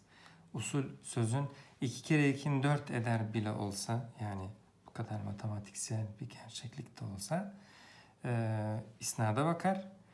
İsnadın e, eğer sıhhat koşulları açısından uygun değilse yani Resulullah'la ilgisini kurmaya çalışıyoruz. Resulullah'la ilgisini kuramadığımız zaman biz diyoruz ki e, bu hadis e, uydurmadır mevzudur, münkerdir. Yani Resulullah'la bir irtibatı yok. Bundan hemen birileri gocunup ya bu söz aslında güzel bir sözdür. Bu söz hoş bir sözdür. Yani sözün itibarını kaybetmeyin diye. Burada sözün itibarı e, aklımıza gelmezden önce Resulullah'ın itibarı geliyor. Resulullah'ın itibarıyla sözü yahut o sözü birileri kitaplarında zikretmişse bunun itibarı yani hani zurna misali delik olarak en sondaki bir şey. Bunu hiç kıyaslayamayız bile, kıyaslayamayız bile. Resulullah en-nebiyyü evlâ bil mu'minîne min enfusihim. Nebi müminlere kendi canlarından daha evladır. Onun itibarı bu kadar hassasiyetle gözettiğimiz bir şeydir. Bu sözün Resulullah'la ilgisi yok anlamında e, söylüyoruz. Bu söz münker bir rivayettir. Bakmayın böyle yeşille falan yazdığımıza teknik olarak e, böyle yapıyoruz. Ama bu söz münker yani e, münker bu şu demek usul açısından bu tanımı sağlıyor. Dolayısıyla Resulullah'la irtibatı hususunda e, çok ciddi bir sorun var. Bunu deşifre etmek lazım. Bunu Resulullah adına kullanan kimseleri ikaz etmek, uyarmak lazım. E, çünkü bu korkunç bir şeydir. Resulullah'a ona ait olmayan bir şeyi yamamak, öyle sözün itibarını kurtarmaya, onu birileri kullanmışsa onları gücendirmemeye vesaire hiç yakınından geçmez. Bu tür şeyler hatıra bile gelmez.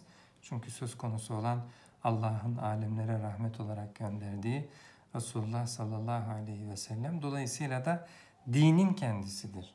Bu anlamda başkalarının ne kaşına ne de e, gözüne bakılır.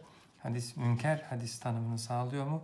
Evet zayıf bir hatta iki ravi var ve e, bu teferrüt eden bir isnat ile bize gelmiş bu hadis münkerdir denir ve bu şekilde e, damgalanır ve o hadisten kurtulunur. Munkarun.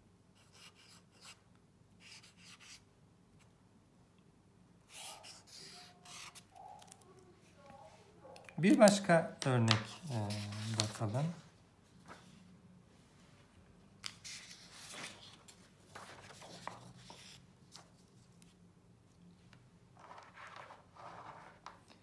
Rava Hubeyyib ibn Habib'in pasif yapıyordum az kalsın. Yani ravinin adını yanlış okuyordum. Rava Hubeyyib ibn Hubeyb dişi fazla açtım. İbnu Habib'in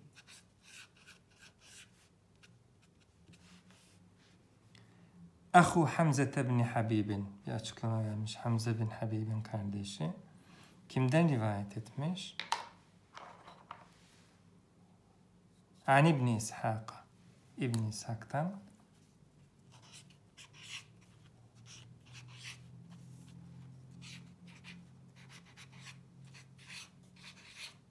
An İbn İshak'a. O kimden? Anil Ayzar İbni Hureyfen. An El Ayzar İbni Hureyf bin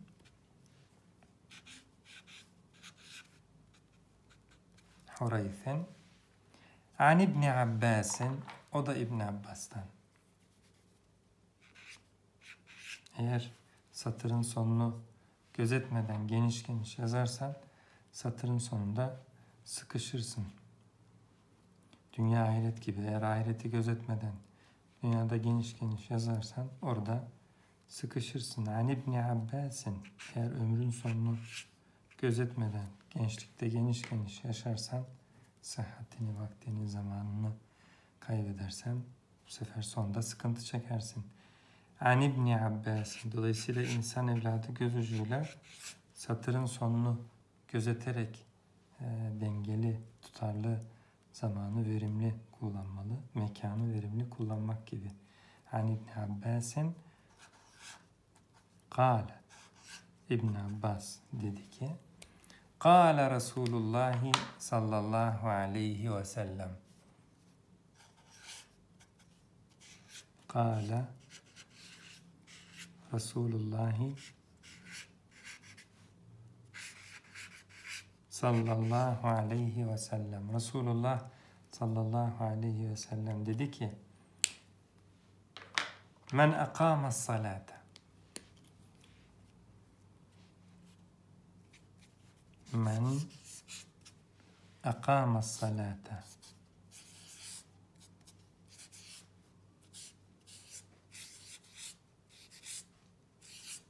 Bir kimse namazı kılarsa. Ve atez zekata ve zekatını verirse. Ve atez zekata ve haccel beyte. Ve beyti hac ederse Kabe'yi tavaf ederse. Ve sama Ramazan'a Tam da Ramazan ayındayız. Ramazan. Ne? Ve karad dayfa.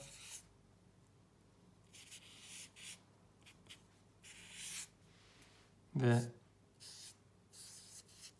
misafirine ikramda bulunursa ağırlarsa onu dehalel cennete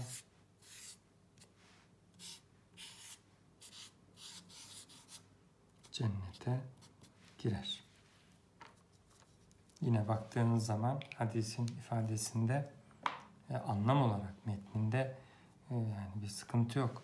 Ama biz hadisi birazdan e, bu bahis altında işlediğimize göre e, münker ilan edeceğiz. Eğer bu konularla alakalı yani ben bu konuları zaten bunlar doğru şeyler e, bunları da yanlışa mı çıkarıyor? Hayır. Bunların doğru şeyler olduğuna dair ayetler orada duruyor. Bunların doğru şeyler olduğuna dair hadisler orada duruyor. Sadece bu kombinasyon ve şu haliyle bu hadisi kullanamayız oluyor. Dolayısıyla eğer buna özel e, bir ihtiyacınız varsa bunu kullanamazsınız. Deminki ifadede de böyle. Yani selamın iyiliğine dair eğer konunuz selamsa selamın iyiliğine dair nice hadis var. Onları gidip kullanabilirsiniz. E, ama selamın kelamdan önce olduğuna dair e, bu ifadeyi Resulullah adına bu isnat kullanma salahiyeti bize vermiyor. Kendi sözünüz olarak da kullanabilirsiniz. Selam kelamdan önce kardeşim sorun yok. İnsanlar ama niye Resulullah markasıyla sunma ihtiyacı duyuyoruz? Demek ki Resulullah'a atfederek söze bir norm, bir e, dini değer katma ihtiyacı var. İşte karşı çıktığımız husus budur. Yoksa herhangi bir kimsenin herhangi bir cümle sarf etmesi eleştiriye açıktır. Herkes bunu değerlendirebilir, reddedebilir. Ama Resulullah'ın sözü bu Allah'ın emriyle itaat edilmesi gereken bir söz olduğu için o alanı e, rastgele kimselerin kendi sözleriyle kirletmesine, sözlerinin manasına bakmaksızın müsaade edilmez, edilmemelidir. Usul bunu gerektirir. Dolayısıyla sözün manası sahih kabilinden e, usulü e, göz ardı eden ve sıhhat ifadesini e, keyfi bir şekilde kullanmaya kalkan e, kimseler doğrudan Resulullah'ın sünnetine esasında kastediyorlar. Böyle kirlete kirlete sonunda Resulullah'ın sahih hadisleri de arada temiz edilemez hale gelip bütünüyle e, reddedilmesine e, yol açılıyor maalesef. Evet yeni ele aldığımız e, bu hadiste Ebu Züra bu hadisin münker olduğunu. Çünkü haberin aslında Hazreti Peygamber'in değil İbn Abbas'ın sözü olduğunu söylemiştir. Dolayısıyla bu hadis burada nasıl gözüküyor? Kale Resulullah sallallahu aleyhi Resulullah sallallahu aleyhi ve sellem dedi ki diye gözüküyor. Ama bu aslında İbn Abbas'ın sözüymüş. Dolayısıyla bu rivayet şu anda merfu gözüküyor ama aslında mevkuf bir rivayetmiş. Yani rivayetin türü bile değişiyor. Sebep şuradaki durumdan ötürü. Peki bu İbn Abbas'ın sözü iken yani mevkuf bir rivayetken kim bize bunu merfu olarak rivayet edip hadisin şeklini şemalini değiştirdi? Herkesin mevkuf bildiği bir rivayeti birdenbire merfu olarak getirdi ve biz de muhaddisler bunu yadırgadık. Demek ki yadırganması bu bilinmeyen bir rivayet değil. Bu mevkuf olarak İbn Abbas'ın sözü olarak biliniyor. Ama ravilerden biri bunu merfu hale dönüştürüp sununca bu kez yine aynı şaşkınlık, yine aynı e, yadırganma, yine aynı yabancılama, inkar e, karşılanıyor. Dolayısıyla muhaddislerin meseleye nasıl yaklaştıklarını e, iyi anlaşılması açısından söylüyorum. Metin aynı metin olduğu halde e, mevkuf bir şeyin, rivayetin merfuya dönüştürülmesi de aynı tepkiye yol açıyor. Yeni Müslüman olmuş birinin şu anlattıkları aklıma geldi. Diyor ki işte Fatiha'yı o günlerde e, zor bela öğrenmişim. Yalan yanlış okuyorum işte. E, bir yerde cemaate katıldım, namaz kılıyorum. E, yine benim gibi birisi, yeni öğrenen birisi olsa gerek gayril mağdubi aleyhim diyecek yerde aleyhum dedi diyor. Ne bütün cami karıştı. Herkes arkadan ho him him kardeşim diye tepki verdiler.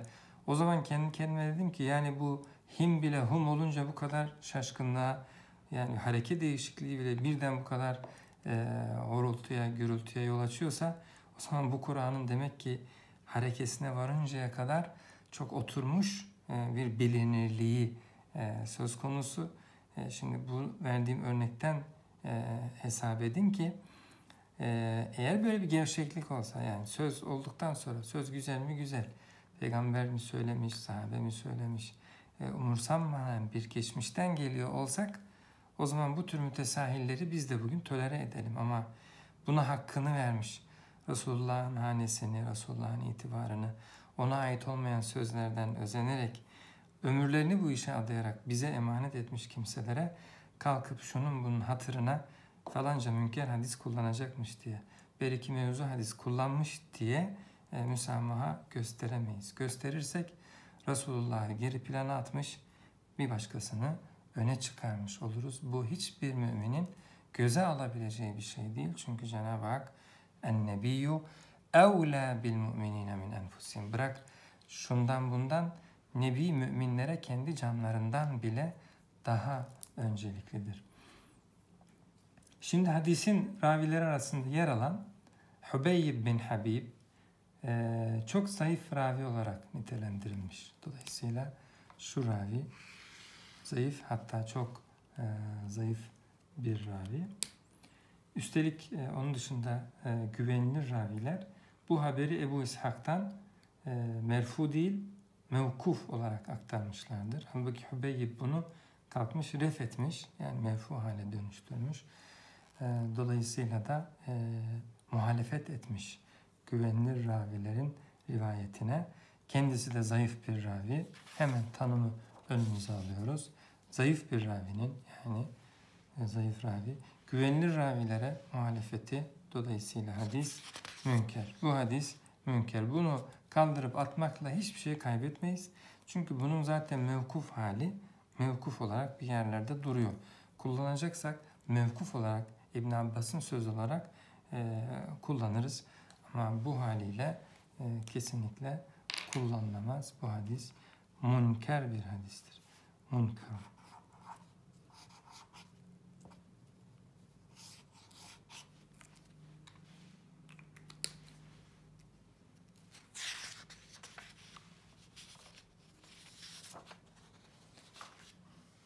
Bir e, örnek daha var önümüzde. O örneği de e, görüp bugünkü dersimizi tamamlayalım. Akbarani İbrahim ibn Hasani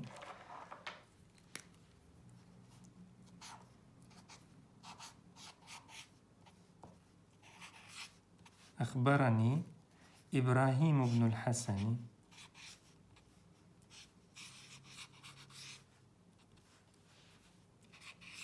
إبراهيم ابن الحسن.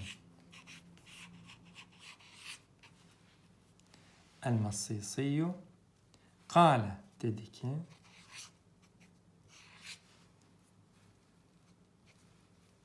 أنبأنا حجاج حجاج بن محمد. أنبأنا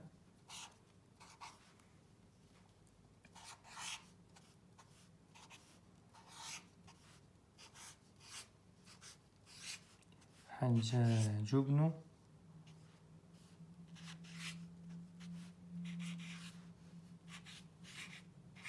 محمد عن حماد بن سلمة.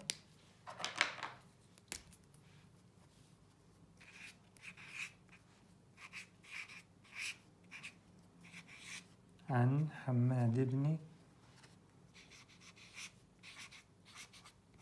سلمة. وده حماد. بن سلمة عن أبي الزبير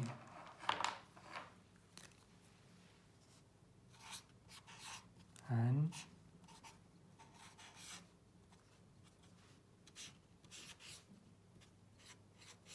عن أبي الزبير وده أبو الزبير عن جابر بن عبد الله وده جابر بن عبد الله تمام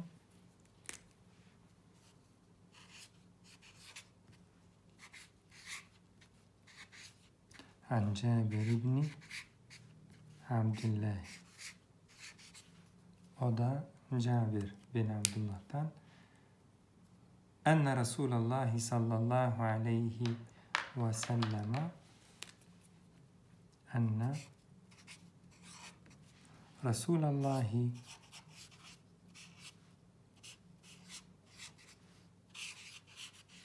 sallallahu aleyhi ve selleme Resulullah sallallahu aleyhi ve sellemin neha an themenis sinnevri.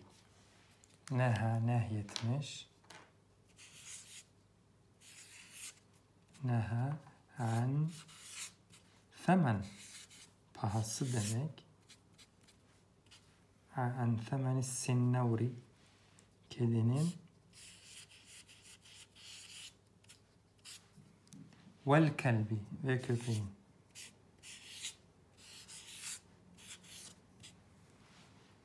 illa kelbe sayden onların pahasını yani satımında e, bir bedel alınmasını, alınıp satılmasını, alınır satılır bir şeye dönüştürülmesini illa kelbe sayden. Av şeyi hariç. Av köpeği hariç. Nesai, İmam Nesai bu hadisin münker olduğunu söylemiştir. Oysa hadisin isnadındaki raviler tümüyle muhtemettir. Yani şurada gördüğünüz raviler. Fakat Nesai'nin bu rivayetindeki av köpeği dışında illa kelbe saydin yani şu ifade Yalnız bu rivayette geçmektedir. Dolayısıyla güvenilir ravinin kendisinden daha güvenilir raviye muhalefeti ortaya çıkmıştır. Nesai bu hadisi bu anlamda münker olarak nitelendirmiş. Dolayısıyla daha güvenilir ravilerin rivayetlerinde biz bu hadisi biliyoruz. Orada neha an e, femenis sinnavri vel kelbi. Daha güvenilir ravi hadisi böyle vermişken ondan e, yine yine kendisi güvenilir olan bir ravinin böyle bir ilave ile vermesi, illa kelbasaydin istisnasıyla vermesi yadırganmış e, olacak ki bu hadis bu anlamda münker olarak e, görülmüş. Şu kaydı dolayısıyla illa kelbasaydin kaydı dolayısıyla. Biz tanım üzerinden bakarsak bunun ileride daha farklı bir isim alacağını göreceğiz. Yani e, güvenilir ravinin daha güvenilir ravilere muhalefet ederse dedik. Bizim okuduğumuz hadiste de öyle. Güvenilir ravi daha güvenilir raviye şöyle bir istisnayı vermekle muhalefet ediyor. Bu anlamda yadırganıyor hadisi münker. Ama bu münkerin özel bir adı var dedik. Şaz hadis ileride bunu göreceğiz. İşte bu da e, şaz anlamındaki münker e, bir hadis. İnşallah önümüzdeki ders metruk hadis ile e, devam edeceğiz. Burada e, bugünkü dersimizi sonlandıralım. أقول قولي هذا وأستغفر الله العظيم لي ولكم ولسائر المؤمنين ربنا لا تؤاخذنا إن نسينا واخطأنا ربنا ولا تحمل علينا إصرا كما حملته على الذين من قبلنا ربنا ولا تحملنا ما لا طاقة لنا به واعف عنا واغفر لنا وارحمنا. أنت مولانا فانصرنا على القوم الكافرين. والسلام عليكم ورحمة الله تعالى